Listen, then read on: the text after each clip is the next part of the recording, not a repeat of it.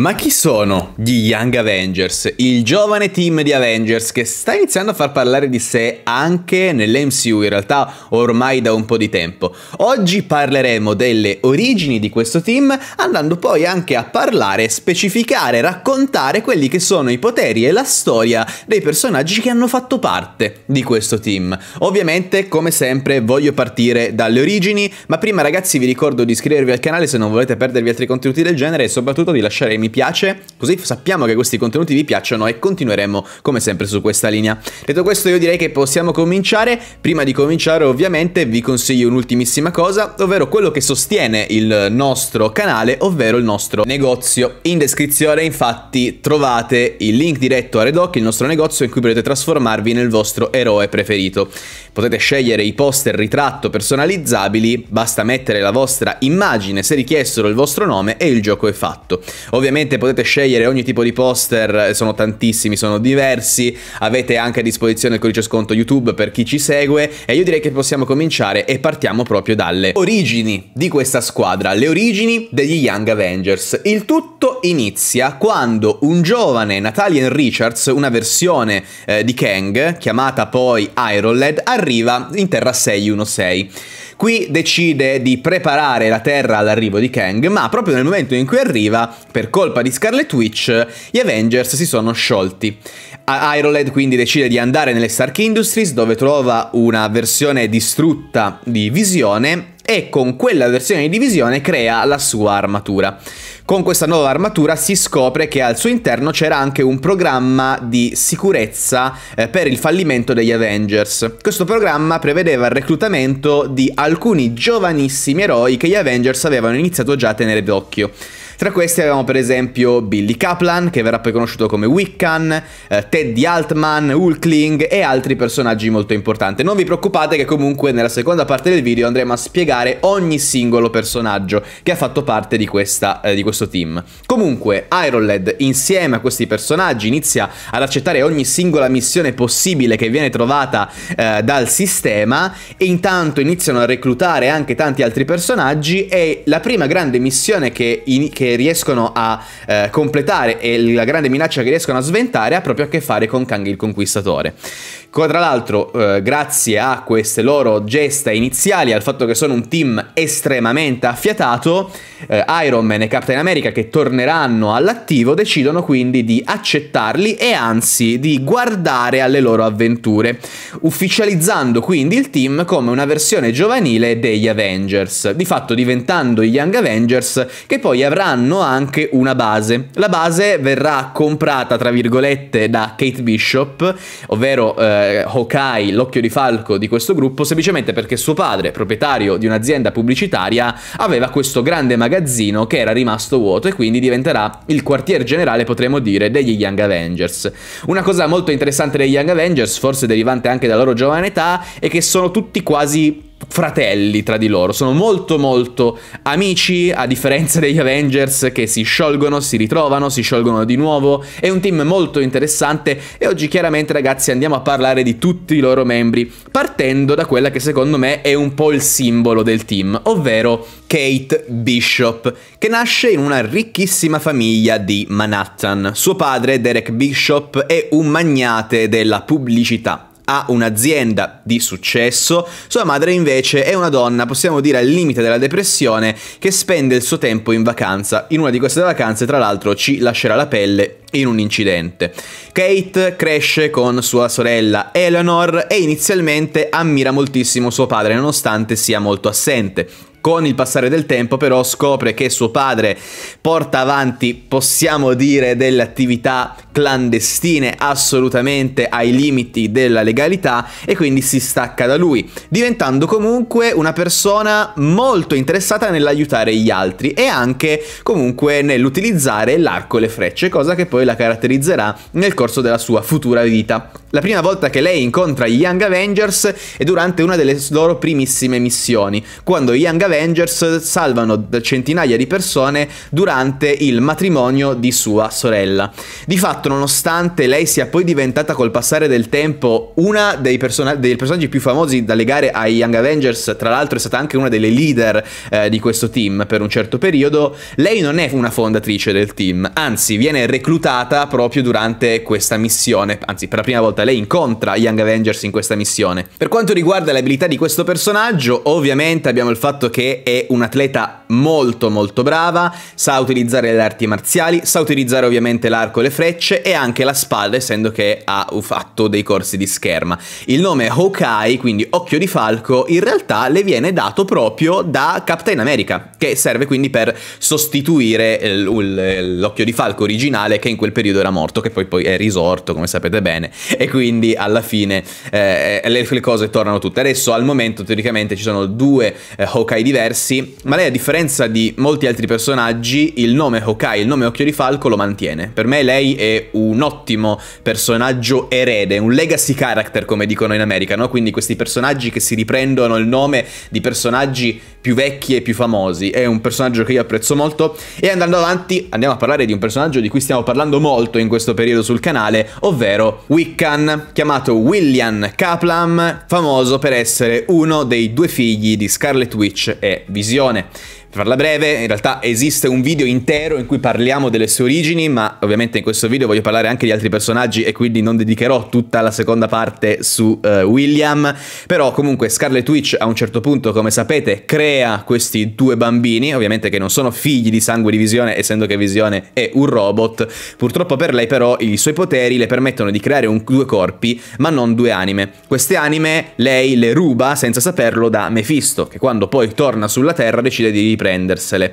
In realtà poi, durante una sorta di scontro con la magia di Wanda, il demone eh, perde di nuovo queste anime che quindi si rincarnano in due ragazzini. Uno di questi è appunto Billy Kaplan, che nasce e cresce in una famiglia ebrea di New York. E William cresce tra l'altro con la grande passione per i supereroi e soprattutto eh, diventando un grandissimo fan di Scarlet Witch, non sapendo che in realtà quella è sua madre, almeno per quanto riguarda l'anima, e che anzi per una piccola, piccolissima parte della sua vita precedente, lei lo ha cresciuto effettivamente. Col passare del tempo comunque eh, William scoprirà che ha dei poteri e i suoi poteri inizialmente si presentano come dei poteri che hanno a che fare con l'elettricità.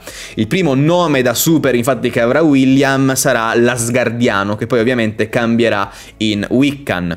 Ovviamente stiamo parlando di un personaggio super iconico e anche molto molto forte. Difatti questo personaggio riuscirà anche ad avere una forma chiamata forma demiurgo che è in grado addirittura di camminare per il multiverso, passare da una, un universo a un altro ed è quasi indistruttibile per non dire quasi invincibile, ok? Quindi stiamo parlando comunque di un personaggio molto forte che ha sempre a che fare con eh, la magia e che anche lui è molto iconico per questo gruppo. Andando avanti abbiamo poi Patriot, ovvero Eli Bradley. Eli Bradley è il nipote di Isaiah Bradley, il primo afroamericano a diventare Captain America. Come sapete questa è una storia che vediamo anche effettivamente nell'MCU. A un certo punto il governo degli Stati Uniti riprova a ricreare questo siero del super soldato e fa degli esperimenti, dei veri e propri esperimenti su degli umani, in particolare su 300 afroamericani, tutti soldati afroamericani del Mississippi e solo Isaiah Bradley effettivamente riesce ad uscirne fuori con dei poteri.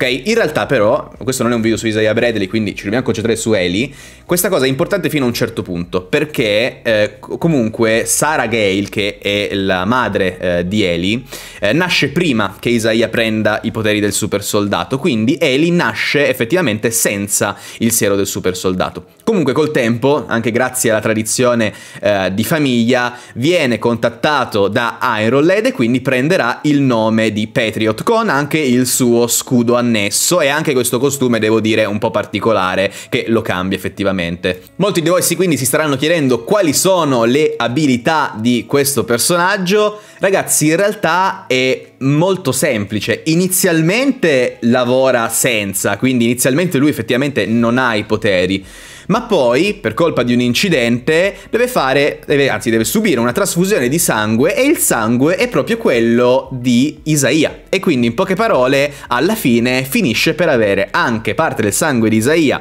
nel suo e quindi anche lui subisce gli effetti del siero del super soldato, aumentando di molto la sua forza e facendolo diventare appunto un super soldato. Abbiamo poi Stinger, ovvero Cassandra Lang, che molti di voi comunque magari si ricordano come Stature. Allora, per quanto riguarda questo personaggio, anche lei in realtà possiamo dire tranquillamente una figlia d'arte, essendo che suo padre è Scott Lang, quindi il l'Ant-Man originale. Anche lei utilizza delle tecnologie, dei poteri molto molto simili e anche lei finirà per unirsi agli Young Avengers. In realtà lei non viene contattata dal protocollo Avengers che aveva Iron Lad, lei si unisce a loro, tra l'altro nello stesso momento in cui si unisce anche eh, Occhi di Falco, ovvero Kate Bishop. Difatti, lei sente parlare dei Young Avengers, decide di andare a cercare la ragazzina che è stata salvata da loro e insieme li trovano e quindi si offrono per entrare appunto nella squadra. Grazie alle sue origini, al suo soprattutto genitore, quindi a, a Scott Lang e anche comunque alla tecnologia che sa utilizzare, lei entra a far parte della squadra. I suoi poteri ovviamente sono gli stessi di Ant-Man, quindi può rimpicciolirsi utilizzando le particelle di Pym e con le stesse particelle può anche aumentare a dismisura eh, la, la, sua stazza. Queste sono le sue caratteristiche, niente di nuovo in realtà e qua, qua, tra l'altro con Patriot e con Stinger o Stature, come volete chiamarla voi, il suo nome attuale è Stinger, effettivamente si capisce quanto in realtà i Young Avengers siano letteralmente una versione giovane degli Avengers che noi conosciamo meglio. Iron Lad è quello che possiamo definire a tutti gli effetti il fondatore degli Young Avengers e lui ha forse le origini più complicate in assoluto. Difatti Iron Lad proviene dal XX secolo, di Terra 63 11, quindi viene dal futuro in realtà. A un certo punto, come tutte le linee temporali eh, del futuro, a un certo punto arriva Kang il Conquistatore. Il Conquistatore però ovviamente è una sua variante, difatti il nome Nathaniel Richards probabilmente vi dice già qualcosa. In poche parole, il nostro Iron Lad scopre che lui in futuro sarebbe diventato così, sarebbe diventato un conquistatore cattivo che avrebbe fatto del male a chiunque. Ovviamente lui, che è un po' diverso, ovviamente ogni variante è un po' diversa, non vuole diventare così e quindi decide di andare nel passato, in quella che viene definita l'epoca degli eroi. Andando nel passato si costruisce anche un'armatura, difatti spesso Iron Lad oltre a essere collegato a Kang viene collegato ad Iron Man non solo per il nome ma anche per il design e lo starete notando anche con le immagini e quindi torna appunto nella nostra epoca dove poi ci sarà tutta quella storia di cui abbiamo parlato prima, quindi Iron Lad che trova questa versione di visione distrutta, si ricostruisce l'armatura, la potenzia e inizia a cercare gli Young Avengers. Col tempo comunque diventa un personaggio abbastanza importante, avrà spessissimo a che fare fare con Kang il Conquistatore e di fatto i suoi poteri riguardano principalmente la sua armatura, quindi parliamo di una tecnologia futuristica molto molto potente.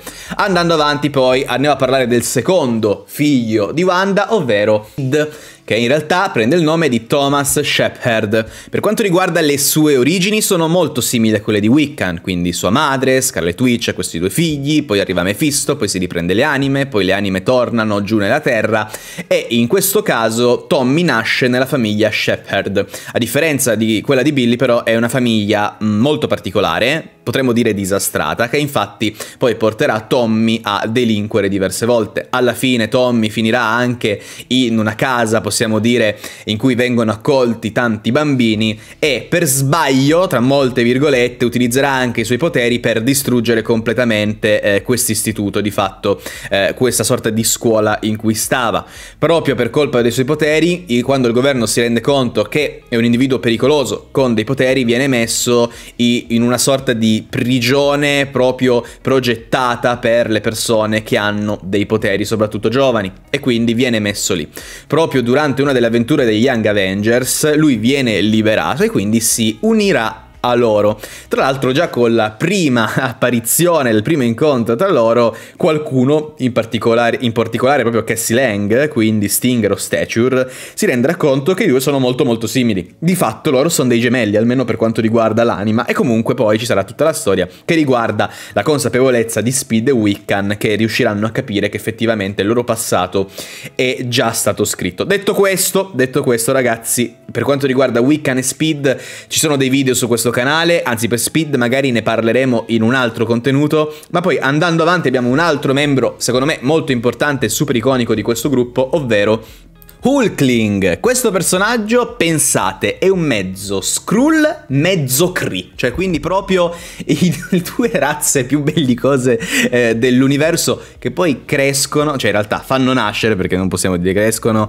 questo ragazzone molto pacifico. Allora, lui è il figlio di Captain Marvel, però chiamato Marvel, quindi questo Kree, quindi non pensate ovviamente a Captain Marvel che conosciamo nell'MCU, che quindi è un Kree che poi ha un un figlio in segreto con la principessa dell'impero Skrull. Appena il bambino nasce, comunque, la principessa lo manda sulla Terra dove viene adottato da una signora, la signora Altman, che decide di crescerlo come Theodore Teddy Rufus Altman. Di fatto lui cresce sulla Terra come se fosse un umano poi a un certo punto i suoi poteri iniziano a manifestarsi. Oltre a essere molto forte fisicamente, ha anche l'abilità dello Skrull. Quindi nella sua forma, possiamo dire, vera, lui è molto grosso e soprattutto verde. Il nome Hulkling quindi proviene proprio da questa somiglianza con Hulk e ancora qui c'è un grande collegamento quindi con gli Avengers originali. Lui è un po' l'Hulk eh, degli Young Avengers, potremmo dire. Questo personaggio è ricordato anche perché lui è il compagno e anzi in realtà anche recentemente possiamo dire il marito di Billy, di Wiccan, l'altro figlio, quello magico possiamo dire, eh, di Scarlet Witch. La loro relazione è uno dei punti centrali in realtà dei Young Avengers Avengers, anche perché c'è da dire, questo secondo me è un punto secondo me a favore di questo team, a differenza degli Avengers originali, loro cambiano veramente poco la line-up. Ecco, loro rimangono sempre lì e quindi loro sono due membri che rimangono sempre effettivamente all'interno del team. Andando avanti abbiamo poi ultimi due membri poco famosi però molto interessanti, ovvero Miss America, ovvero America Chavez. In realtà poco famoso più o meno perché adesso America Chavez è diventata famosa grazie a Doctor Strange Multiverse of Madness e come sapete lei ha dei poteri particolari che le permettono di viaggiare nel multiverso. Inizialmente lei non aveva dei poteri, aveva solo una malattia molto molto grave insieme a sua sorella e i suoi genitori, che erano tra l'altro dei microbiologi, utilizzando comunque i fondi di un miliardario molto ricco che finanziava la loro ricerca, cercando di curarla, scoprono che in realtà lei ha questi poteri, questi poteri che le permettono di andare in giro per il multiverso. Ovviamente quando vengono introdotti questi personaggi, quindi un miliardario che, che, dà i fondi per le cure, dei genitori che provano a curarla e poi in realtà questi non sono delle malattie ma sono dei veri e propri poteri, sapete bene o male dove andrà questa storia. Ovviamente il miliardario cercherà di riprendersi quello che per lui gli appartiene, quindi i poteri di America e i genitori moriranno in tutto questo incidente. Alla fine crescerà insieme a sua sorella e crescerà con questi poteri. Lei sarà uno dei membri fondamentali comunque nei Young Avengers anche se non si unirà finirà subito con loro, a differenza per esempio di un Wiccan e di Speed che iniziano la loro carriera proprio nel team, lei si unirà un po' dopo effettivamente e quindi eh, diventerà un membro fondamentale del team soprattutto per le loro avventure che avranno a che fare col multiverso. Andando avanti abbiamo ancora Loki o forse dovrei dire Icol o Young Loki come viene conosciuto in gergo. Difatti, durante l'assedio di Asgard eh, in, nella saga dei Dark Avengers, per intenderci, Loki muore per colpa del Void, però resuscita. Qua ora ragazzi veramente sarebbe complicatissimo spiegare il tutto e forse ci metterei 10 minuti, ma alla fine riesce a prendere diverse forme che poi lo porteranno ad avere tra l'altro anche una forma animale tipo quella del corvo per un periodo e poi anche quella quella da ragazzino. Di fatto questa nuova forma, questa nuova versione di Loki, questa reincarnazione in realtà eh, diventa Icol e quindi noi lo conosciamo in questo modo. Questa per lui però rappresenta una, un nuovo inizio, possiamo dire, una nuova vita in tutti i sensi, tra l'altro, e di fatti durante la sua carriera, prima di tornare a essere il Loki che tutti noi conosciamo, si unirà appunto agli Young Avengers, diventando comunque un membro molto molto importante. Inizialmente si unisce loro perché è interessato ai poteri di Wiccan, eh? bisogna dire anche questo, però comunque lui in realtà fa molte eh, avventure insieme a loro. Per quanto riguarda i poteri, ragazzi, sono tutti poteri che ha Loki, quindi poteri magici, poteri eh, ovviamente di forza fisica, essendo che ha delle origini importanti, ma soprattutto la magia comunque sarà quello che lo caratterizzerà. E concludiamo con Marvel Boy, conosciuto come Novar, un altro Kree che in realtà appartiene a un'altra dimensione, chiamata dimensione 200080. In questa dimensione, per colpa del suo DNA particolare, che gli ha fatto, diciamo, eh, gli ha reso una sorta di scarafaggio soldato, di fatto lui ha delle proprietà eh, che appartengono agli scarafaggi, per intenderci, diventa un super soldato e viene incaricato subito dal regno dei Kree eh, per essere comunque su una nave da combattere combattimento. Durante un combattimento contro delle creature potentissime, la sua ciurma finisce nel multiverso e alla fine arrivano, indovinate un po' dove, su Terra 616 quindi diventa un eroe e inizia a lavorare ovviamente anche con gli Avengers e soprattutto con gli Young Avengers. Per quanto riguarda i suoi poteri, semplicemente abbiamo una forza sovrumana, una velocità sovrumana, agilità sovrumana, tutto quello che potete immaginare sovraumano. Una cosa però interessante è che lui può anche arrampicarsi sui muri, una cosa molto simile a quello che fa Spider-Man, questo grazie anche al suo DNA di cui vi parlavo prima, e in più utilizza anche qualche tecnologia Kree futuristica che non non fa mai male effettivamente in un personaggio del genere. Comunque ragazzi, questi erano i Young Avengers, dalle loro origini a tutti i membri conosciuti. Detto questo ragazzi io vi ringrazio moltissimo per essere stati qui con noi, mi raccomando come sempre, fate i bravi e noi ci vediamo prestissimo con altri contenuti a tema Marvel se vi va. Ciao ragazzi!